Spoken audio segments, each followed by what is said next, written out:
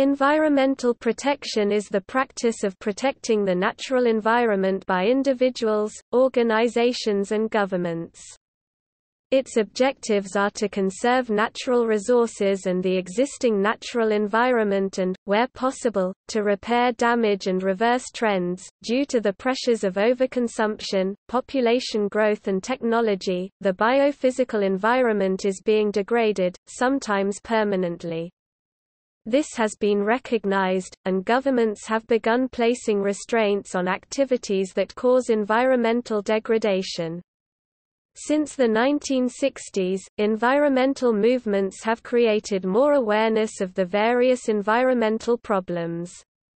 There is disagreement on the extent of the environmental impact of human activity and even scientific dishonesty occurs, so protection measures are occasionally debated.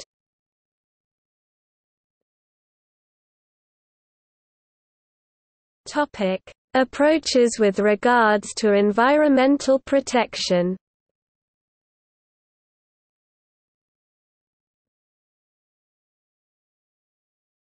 Topic: Voluntary environmental agreements. In the industrial countries, voluntary environmental agreements often provide a platform for companies to be recognized for moving beyond the minimum regulatory standards and thus support the development of best environmental practice. For instance, in India, Environment Improvement Trust (EIT) has been working for environmental and forest protection since 1998. A group of green volunteers get a goal of Green India Clean India concept. C. A. Gajendra Kumar Jain a chartered accountant, is the founder of Environment Improvement Trust in Sojat city a small village of state of Rajasthan in India in developing countries, such as Latin America. These agreements are more commonly used to remedy significant levels of non-compliance with mandatory regulation. The challenges that exist with these agreements lie in establishing baseline data, targets, monitoring and reporting. Due to the difficulties inherent in evaluating effectiveness, their use is often questioned and, indeed, the whole environment may well be adversely affected as a result. The key advantage of their use in developing countries is that their use helps to build environmental management capacity.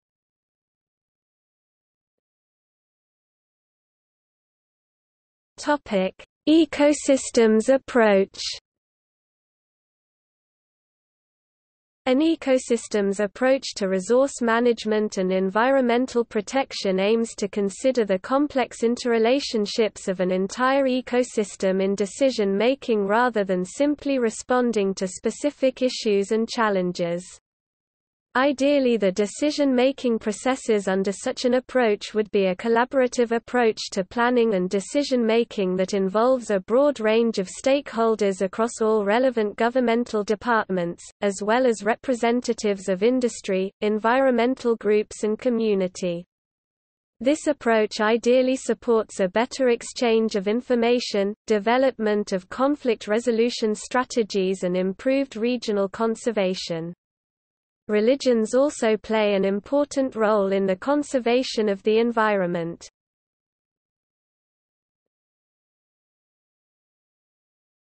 Topic: International environmental agreements. Many of the Earth's resources are especially vulnerable because they are influenced by human impacts across many countries. As a result of this, many attempts are made by countries to develop agreements that are signed by multiple governments to prevent damage or manage the impacts of human activity on natural resources. This can include agreements that impact factors such as climate, oceans, rivers and air pollution. These international environmental agreements are sometimes legally binding documents that have legal implications when they are not followed and, at other times, are more agreements in principle or are for use as codes of conduct. These agreements have a long history with some multinational agreements being in place from as early as 1910 in Europe, America and Africa. Some of the most well-known international agreements include the Kyoto Protocol.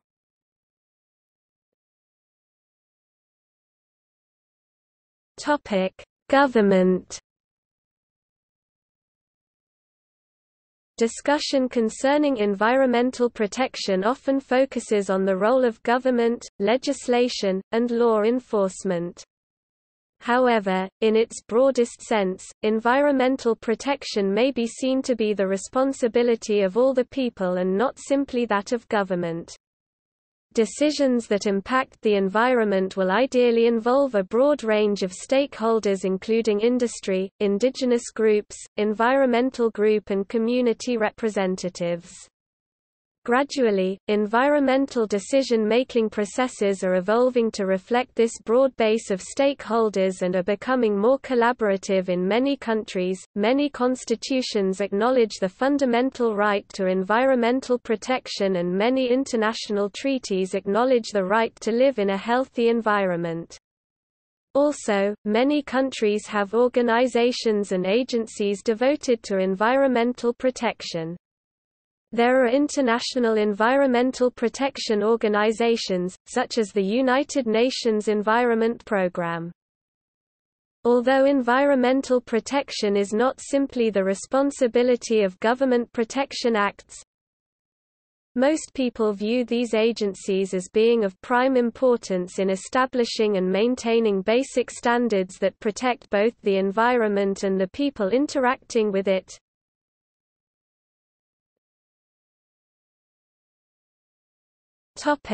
Tanzania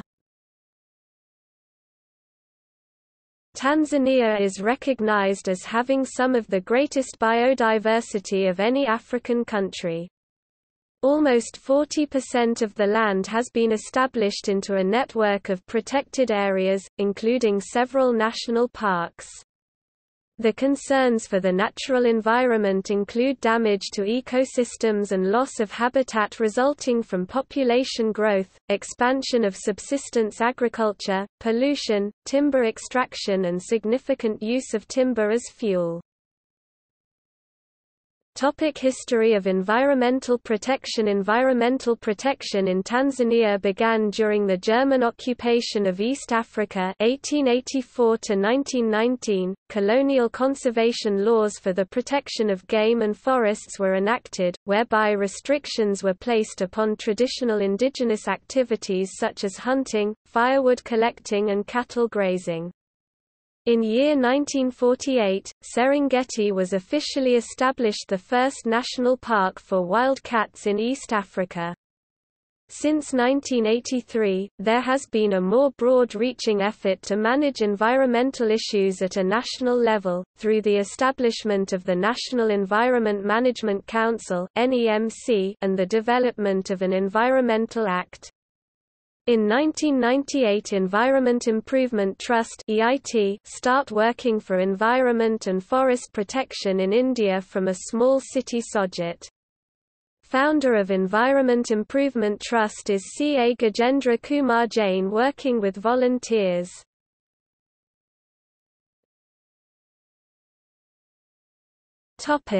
Government protection Division of the Biosphere is the main government body that oversees protection. It does this through the formulation of policy, coordinating and monitoring environmental issues, environmental planning and policy-oriented environmental research. The National Environment Management Council (NEMC) is an institution that was initiated when the National Environment Management Act was first introduced in year 1983. This council has the role to advise governments and the international community on a range of environmental issues.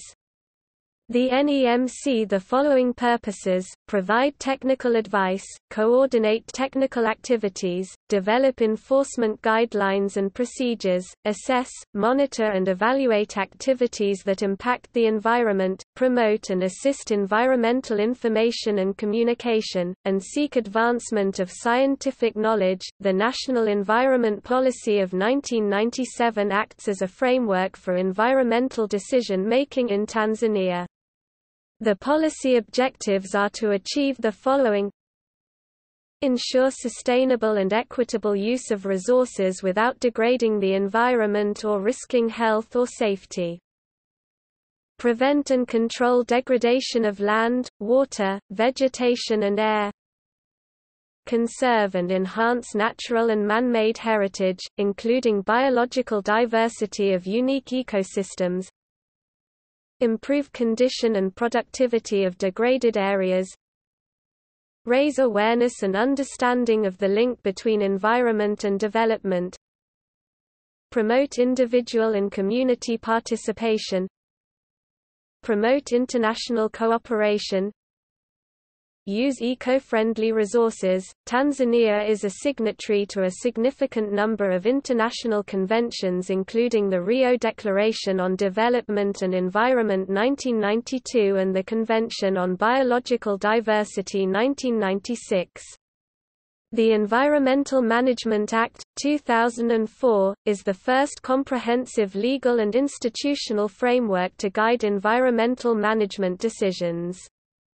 The policy tools that are parts of the Act includes the use of, environmental impact assessments, strategics environmentals assessments and taxation on pollution for specific industries and products. The effectiveness of shifting of this act will only become clear over time as concerns regarding its implementation become apparent based on the fact that, historically, there has been a lack of capacity to enforce environmental laws and a lack of working tools to bring environmental protection objectives into practice.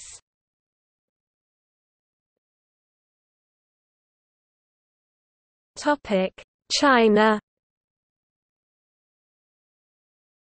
Formal environmental protection in China House was first stimulated by the 1972 United Nations Conference on the Human Environment held in Stockholm, Sweden. Following this, they began establishing environmental protection agencies and putting controls on some of its industrial waste. China was one of the first developing countries to implement a sustainable development strategy. In 1983 the State Council announced that environmental protection would be one of China's basic national policies and in 1984 the National Environmental Protection Agency was established. Following severe flooding of the Yangtze River Basin in 1998, NEPA was upgraded to the State Environmental Protection Agency meaning that environmental protection was now being implemented at a ministerial level. In 2008, SEPA became known by its current name of Ministry of Environmental Protection of the People's Republic of China MEP. Environmental pollution and ecological degradation has resulted in economic losses for China. In 2005, economic losses mainly from air pollution were calculated at 7.7% of China's GDP. This grew to 10.3% by 2002 and the economic loss from water pollution 6.1% began to exceed that caused by air pollution. China has been one of the top-performing countries in terms of GDP growth 9.64% in the past 10 years. However, the high economic growth has put immense pressure on its environment and the environmental challenges that China faces are greater than most countries. In 2010 China was ranked 121st out of 163 countries on the Environmental Performance Index. China has taken initiatives to increase its protection of the environment and combat environmental degradation, China's investment in renewable energy grew 18% in 2007 to $15.6 billion, accounting for approximately 10% of the global investment in this area. In 2008, spending on the environment was 1.49% of GDP, up 3.4 times from 2000. The discharge of CO carbon monoxide and SO2 sulfur dioxide decreased by 6.61% and 8.95% in 2008 compared with that in 2005. China's protected nature reserves have increased substantially. In 1978 there were only 34 compared with 2,538 in 2010. The Protected Nature Reserve System now occupies 15.5% of the country, this is higher than the world average. Rapid growth in GDP has been China's main goal during the past three decades with a dominant development model of inefficient resource use and high pollution to achieve high GDP. For China to develop sustainably, environmental protection should be treated as an integral part of its economic policies. Quote from Sheng Xianzhou, head of MEP, 2009, Good economic policy is good environmental policy and the nature of environmental problem is the economic structure, production form and develop model.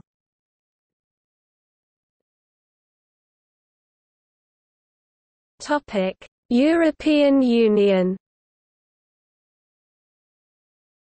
Environmental protection has become an important task for the institutions of the European Community after the Maastricht Treaty for the European Union ratification by all the member states. The EU is already very active in the field of environmental policy with important directives like those on environmental impact assessment and on the access to environmental information for citizens in the member states.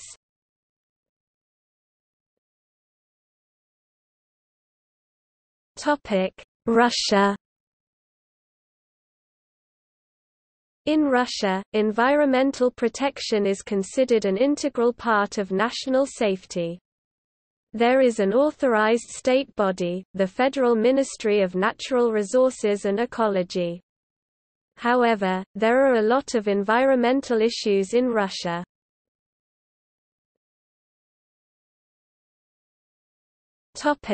Latin America The United Nations Environment Programme UNEP has identified 17 megadiverse countries.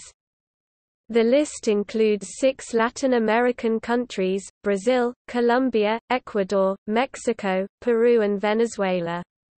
Mexico and Brazil stand out among the rest because they have the largest area, population and number of species. These countries represent a major concern for environmental protection because they have high rates of deforestation, ecosystems loss, pollution, and population growth.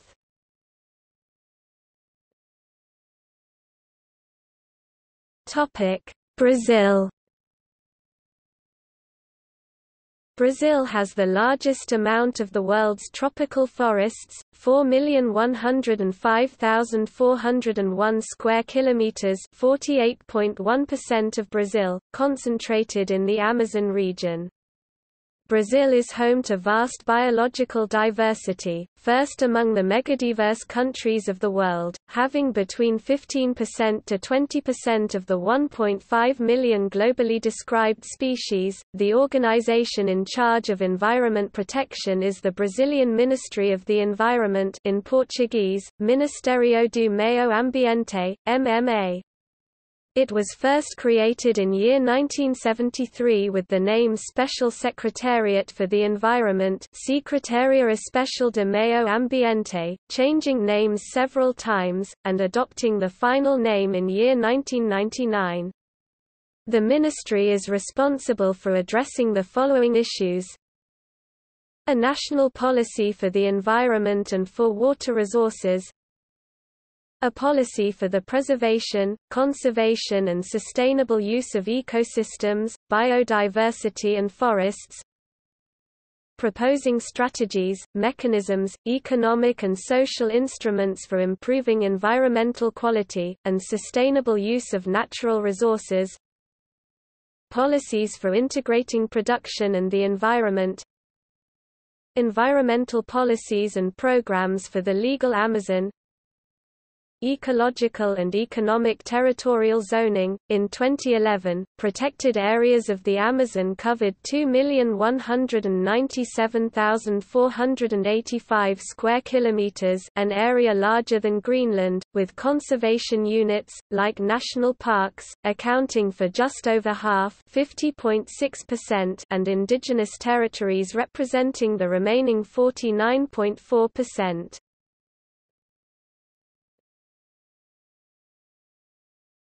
Topic: Mexico. With over 200,000 different species, Mexico is home to 10 to 12% of the world's biodiversity, ranking first in reptile biodiversity and second in mammals. One estimate indicates that over 50% of all animal and plant species live in Mexico. The history of environmental policy in Mexico started in the 1940s with the enactment of the Law of Conservation of Soil and Water in Spanish, Ley de Conservación de Suelo y Agua. Three decades later, at the beginning of the 1970s, the law to prevent and control environmental pollution was created Ley para prevenir y controlar la contaminación ambiental. In year 1972 was the first direct response from the federal government to address eminent health effects from environmental issues. It established the administrative organization of the Secretariat for the Improvement of the Environment Subsecretaría para el Mejoramiento del Ambiente in the Department of Health and Welfare. The Secretariat of Environment and Natural Resources Secretaría del Medio Ambiente y Recursos Naturales, SEMARNAT is Mexico's environment ministry. The ministry is responsible for addressing the following issues promote the protection, restoration, and conservation of ecosystems, natural resources, goods, and environmental services and facilitate their use and sustainable development. Develop and implement a national policy on natural resources, promote environmental management within the national territory, in coordination with all levels of government and the private sector. Evaluate and provide determination to the environmental impact statements for development projects and prevention of ecological damage.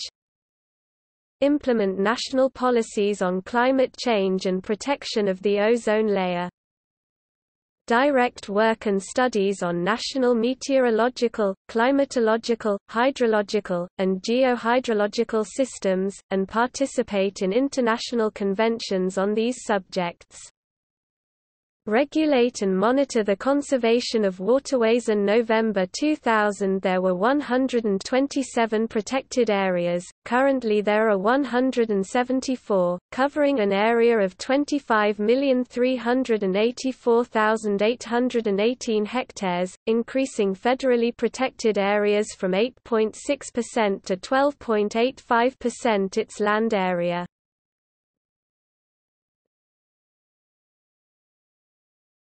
Topic: Oceania.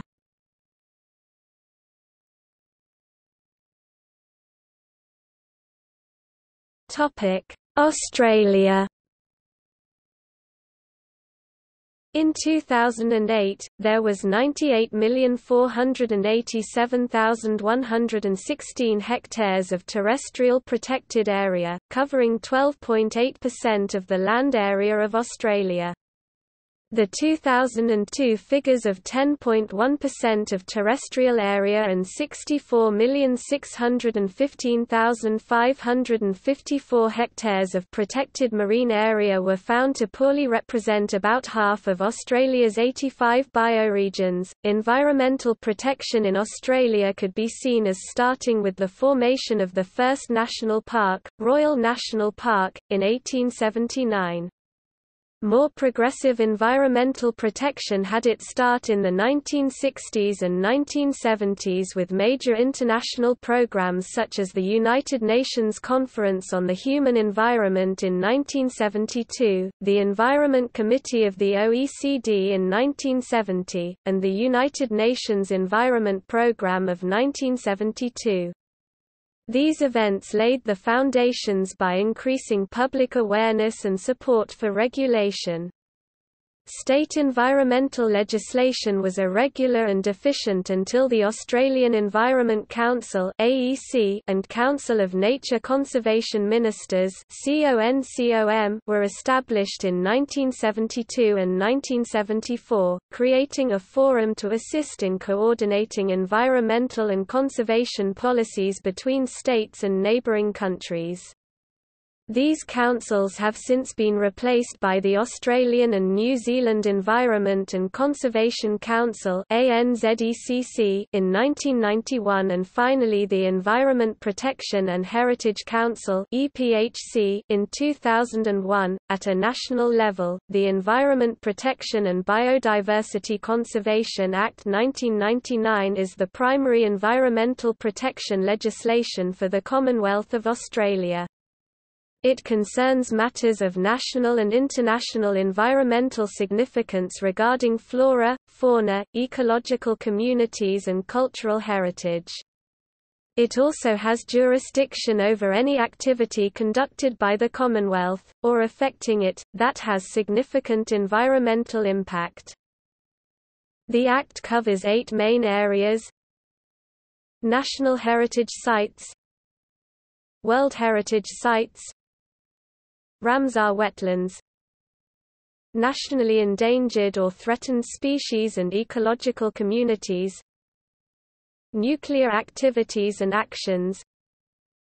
Great Barrier Reef Marine Park.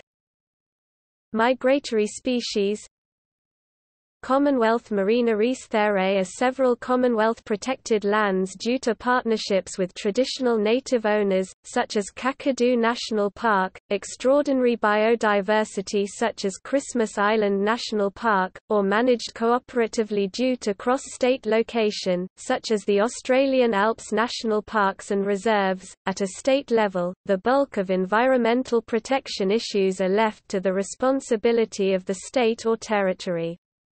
Each state in Australia has its own environmental protection legislation and corresponding agencies.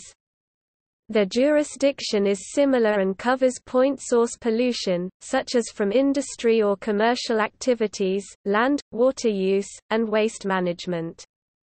Most protected lands are managed by states and territories with state legislative acts creating different degrees and definitions of protected areas such as wilderness, national land and marine parks, state forests, and conservation areas. States also create regulation to limit and provide general protection from air, water, and sound pollution. At a local level, each city or regional council has responsibility over issues not covered by state or national legislation.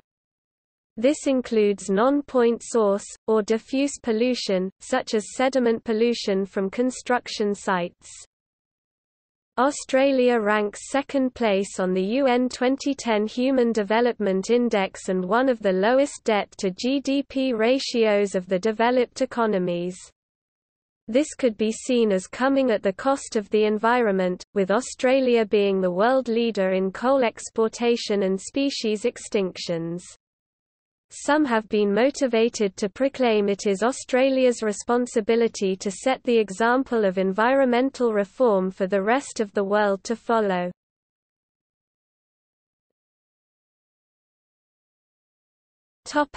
New Zealand At a national level, the Ministry for the Environment is responsible for environmental policy and the Department of Conservation addresses conservation issues. At a regional level the regional councils administer the legislation and address regional environmental issues.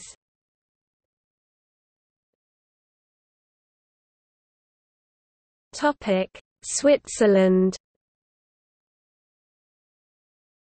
The environmental protection in Switzerland is mainly based on the measures to be taken against global warming. The pollution in Switzerland is mainly the pollution caused by vehicles and the litteration by tourists.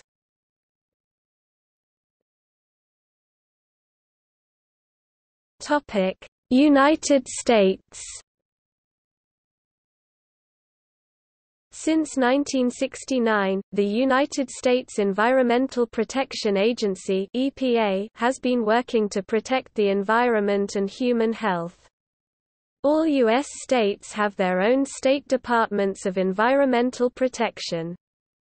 The EPA has drafted seven priorities for EPA's future, which are taking action on climate change, improving air quality, assuring the safety of chemicals, cleaning up our communities, protecting America's waters, expanding the conversation on environmentalism and working for environmental justice,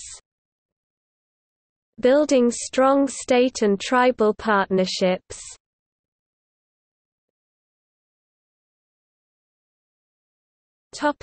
In literature